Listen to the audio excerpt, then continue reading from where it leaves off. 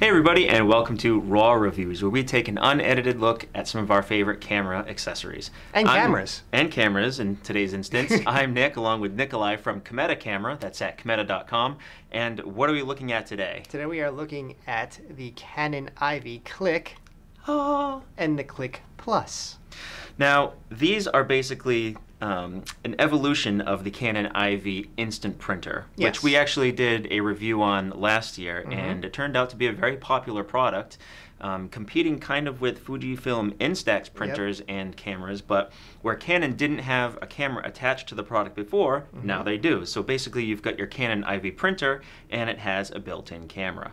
So that is a pretty cool development. Yeah. So, uh, differences between the Cliq and the Cliq Plus. What do we got going on? Well, with the Cliq, you get a uh, 5 megapixel camera, which is more than enough for the size of the prints you'll be making. Yeah, not They're 2 by 3 prints, so they're pretty darn small. small. And then with the uh, Cliq Plus, you get 8 megapixels. Um, with the regular Cliq, you don't have any wireless capability, anything like that. With the Cliq Plus, you can sync it with your smartphone so that you can control it via Bluetooth, and you can also take pictures that are on this, and you can um, print them from a mobile app Gotcha. which is actually a pretty convenient thing because you can also take pictures from your other cameras, uh, from your phone, for example, or from your professional cameras, and you can, or just straight off the internet So or whatever, from your Facebook, from your Instagram, whatever. So this is basically just like the Ivy printer with a camera built into it. Yes, that's all and it is. that's just like an Instax camera. Yeah, well, this is a Pretty lower much. resolution version of this one, and also this one has a bigger selfie mirror. Yeah, Okay, yeah, so as you can uh, see, the entire thing is a mirror versus that little teeny tiny thing over there. Yeah, so this one's a little bit more useful when you're taking selfies. You can see the entire frame. It actually has these little frame lines here um, so that you can get a better view of uh, what it is you're taking a picture of. Probably yourself or a group of friends. Uh, these actually do have a pretty wide angle lens on them, so that's basically what they're made for. They're made for selfies, they're made for snapshots, for those moments where you just want to have a picture, print it out, give it to your friends. And one of the coolest things about all the prints that it makes is that they're stickers. So you could take Oh, I this, didn't even know this picture that I took of um, the back of our office building, and uh, you could just stick it wherever you like. Not much excitement happens here outside. No, unfortunately not. I did take another one of uh, myself with our lovely receptionist, and uh, that will probably get stuck somewhere. so anyway, um, let's get into a few more of these features. I actually can show you how these things work. Actually, before we get that, just to get out of the way, what's the price difference on them? About sixty dollars. So for the regular one, this one is ninety nine dollars at Mhm. launch, and the Cliq Plus is one fifty nine. So, you know, for the amount of different features that you get with the Cliq Plus, personally, I'd go with the Cliq Plus. Yeah, about to say it sounds like I would probably go with this instead of that. I think the regular Cliq, um, not only because of the less lesser features, but also because of the bright coloring. It comes in blue, it comes in this yellow, oh yeah, there's a lot of colors. and it it comes, comes in this uh, sort of magenta. This they call this ladybug red, and Okay. um, right. So those colors are more geared towards kids, I think. So then what we got here, what color is that? Now the? Cliq Plus gives you more. Um, Oh, these are different colors for the. those are Plus. classier colors. Yes. Okay, so this is sapphire blue. Yep. This is White. pearl pearl white, and then we have purple. this is the one that boggles my mind. It's not called. Pur- this is not called purple. This is called ruby red. So if you've ever seen any rubies that are come in this color, please send us a picture. Write to us, let us know because if you've seen The Wizard of Oz, this is not the color of a ruby. But that notwithstanding, it's still a pretty cool camera. Yes. All right, so let's get into how it actually works. Now, Okay. it's basically it- it's competing with Fujifilm's Instax cameras, wherein you take a picture, it gives you a print right away, and you don't. Ha- with these, actually uses a different kind of paper. It doesn't go on that um, instant film like old Polaroids. This one actually just prints onto what's called zero ink paper, and it produces the color right away. You don't have to wait for it to develop or anything. So Oh, if wow. you want, just turn it on. I think you just hold Okay. down the power button for a second. And it takes a second for it Okay, to yeah, it power up. lights up blue on the top there. I guess to let you know that it's on. Yep. Now Now you can see on the back that there's a little optical viewfinder. Yes, and it's also. Oh now it's a nice blue. Turn that around turning for it, turning it. right. So you've got an optical viewfinder. It has an actually very accurate frame reference inside, so that way when you're actually taking a picture, you actually get a picture of what you framed up. It- You don't have to like compensate a little bit because the viewfinder's off to the side or whatever. Smart move. Um, then it has a button to change the aspect ratio because you can do just square pictures if you want. Okay. In the, the Instagram world we live in. Did they make just square film, or no? No, it would print it out uh, a square onto the Yeah. rectangular paper. You have to like trim the sides. Or Yeah, you would have like to that. trim Okay, it. okay. okay. Or you can switch to 2x3, which is the sort of default. And then you've got another button over here, which is a reprint button. So if you really like the last shot you just took, you just press that and it reprints another one. So if you've got Okay. a bunch of friends, you take a great picture of your group of friends and everyone wants one, you can easily do that. Gotcha. Now, does it need a memory card to do that? It doesn't need one. Um, if you don't put a memory card in, it'll just use the last picture that you took. Okay.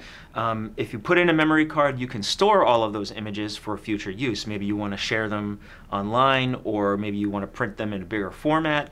You can do that with an 8 megapixel camera. So, Okay. I mean, they may not be the greatest pictures in the world, but you know, for casual use, it's really not that bad. Yeah, there you go. So why don't you take one casual picture of your old friend Nick over here? Oh, okay, I was actually gonna take a picture of our new friend Sean back here. Oh, But- do that. So- I don't know. You can't really zoom in, so I know, but still, it's like you can see the setup and everything. That's quite the pose there, Sean. All we'll right. show everybody in a second. So, So- it takes a couple seconds to so process. now it's blinking. So to let you know that it's processing. Oh, it changes colors. Isn't that fancy? Look at that. I can just about see because I want the camera to see it, but there we go. there it goes. Now you hear it coming out. So after out. about 10 seconds, it starts whirring and uh, the Still- gears start turning. And Still blinking. the paper that's inside actually has these little microscopic uh, dots of ink on it, and it uses heat to activate those dots, and then it prints it out, and it's like smudge proof, Oh, water it's coming out this resistant. There you go. So it's smudge proof, water resistant, and it makes a nice little sticker, like we said before. So these things can be put anywhere, and you don't have to worry about them uh, getting all messed up. Yeah, it's cool to see it actually like comes out like completely done instead of having to sit there and do the the fanning. That Yeah, does yeah. absolutely nothing. That doesn't do anything. so there you go. Oops, Whoops. I didn't catch it. And there's Sean. All right, so it's not exactly a great scene what we've got going on here in our office. It's a studio. but um, I took some other shots here. This is uh, just a selfie I took of myself, which selfie this is self-explanatory word there. Mhm. Um, then I've got another one which I applied some stickers to in the app. So they've got a million different things you can do. There's you know sunglasses and logos. I don't know why I put a cassette tape floating in the uh, in the air over there. Just to show off, you know. But yes, I was so bored, and uh, then you can draw things on it. There's a million little things you can do. I'm almost 40 years old, so I don't do any of that crap. But you know, Yeah. I guess it's cool. The don't know. Utes. The Utes these days. The Utes these days. Um, and like I said before, you can also with the Cliq Plus, you can transfer stuff over from uh, your phone, and uh, you can print pretty much any picture you want. So I took some pictures with my you know normal cameras, and those come out nice and colorful. Now, with this type of paper, you don't really get highly saturated colors. yeah. Um, so I would recommend that if you're going to print out things like this, boost the saturation a little bit before you do a print, okay. um, and then it comes out a little bit nicer. And you can do that in the app. The app actually gives you a bunch of different editing tools so you can increase saturation. You can apply different filters, kind of like Instagram. Mm. Um, it gives you a lot of flexibility, and surprisingly, stuff works out pretty nicely. Nice. You know, as long as you know what what to do. So I would ahead of time before you start um, printing, boost up the saturation a little bit, maybe boost up the contrast a little bit. gotcha. The one thing I found that it doesn't really work with too well is sort of grayish tones. So like in this picture here in the corners, that wall is kind of a, a grayish beige color. Mm, a little bit of banding here doesn't look so great. But the actual colors, the actual bright colors in this image uh, came out really nice. And I can say the same thing for this shot I took of a dock in Miami. You know, the colors came out really nice. The blues, the Mm. greens, this sort of highly saturated brown dock here. Everything came out really nice.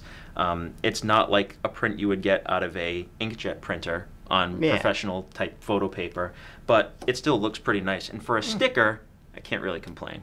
Yeah. So, um, do we want to actually demo how to load film? It's pretty easy. Um, the paper comes in boxes of 20 or 50, and then it comes in little packs of 10 inside the box.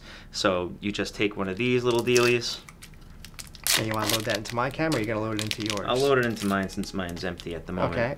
Uh, it comes with a little blue registration card, and it's important that you hang on to that. You don't throw it away. You just open up the back, place it blue card down, like so. And then just click it on. And now That's fairly easy. it's pretty easy. Like I said, this is sort of made for kids and for real casual use. Okay. So you don't have to really know anything about photography or cameras in order to do it.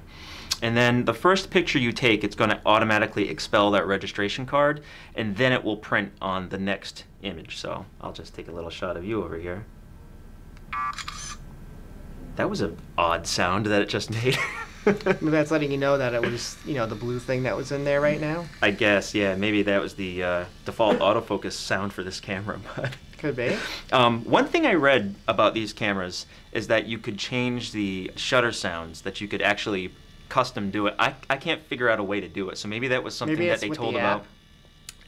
That's what I heard. Okay. But I haven't been able to figure out a way to do it, and I think it might be something that they didn't actually integrate into the final product. Gotcha. That was something I saw in the initial press releases. Well, if we couldn't figure it out, we'll put a little text bubble over this saying if we were right or wrong.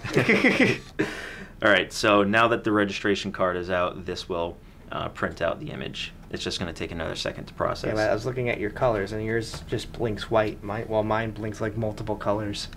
Well, aren't you special? Yeah. That's what an extra 60 bucks gets you. It gets you a rainbow. so anyway, um, again, that's the price difference between the cameras. Now, when you're buying the Oh, film, no, never mind. I guess when it, like it starts printing, like the colors start changing. There you go. Um, another good thing about these is that they uh, have an internal lithium-ion battery, so Okay. you can just charge them like any of any of your other devices. You don't have to go out and buy those weird, um, I don't even one two three cells. What are they called? CR, The CR, whatever- 123s or something like Yeah, that. uh, those are the ones that you typically get for Fuji cam- Fujifilm Instax cameras, and um, while they last a long time, they're made for those types of cameras. There you go. And this one just has a regular internal battery, just like every other device you now, have. will you catch the picture in time? No. No. All right, so it's pretty self-explanatory. You get the idea. Um, I wanted to mention, as far as the film goes, if you get a pack of 20, they typically run about 13 bucks, and that's something like 65 cents per print. okay. Um, if you get a pack of 50, you get a better value. That's about 50 cents a print. And they come in like little packs of 10, like yeah, you said, right? yeah. So okay. you, you put in 10 at a time, and then when you're done, um, you just put in another pack. That's pretty much it. Yeah. You don't have to worry. You can always open it up if you need to, because it's not like the uh, Polaroids or Fujifilm Instax. They're not sensitive to light or anything. They're sensitive to the heat in the camera. Gotcha. So you can always check how many exposures you have left, if necessary. So I guess that's about it. Yeah, I mean, there's really really nothing else left to explain. Um, the cameras are real cute. They're nice and compact. They are a little bit thicker than a smartphone, but but they fit right in your pocket. Yeah, but they're definitely a lot smaller than like a Fuji film. Definitely. And for, you know, a hundred dollars, the Cliq makes an excellent little stocking stuffer or gift. Mhm. You know, a nice little birthday present for uh, for young ones. And the Cliq Plus is a little bit more advanced, but also a really cool thing. And one other thing I meant forgot to mention about the Cliq Plus: not only is it eight megapixels, not only does it have the Bluetooth connectivity, it also has a little ring light. So Oh. you'll notice here on the top, there's a flash switch, and uh, you can set that to um, put in automatic flash or a little bit of fill flash Okay. depending on your conditions. And it's a nice little ring light, so it gives you even coverage. So if you're taking a selfie, you'll be able to get nice even light coverage of your face. And if you're taking pictures of someone else, you know, same deal. Nice. So that's it. That's, That's the it. Canon Ivy Cliq and the Ivy Cliq Plus. $99, $159, and uh, you can get that along with all the Ivy paper that you need right now. at Cameta.com. Yeah.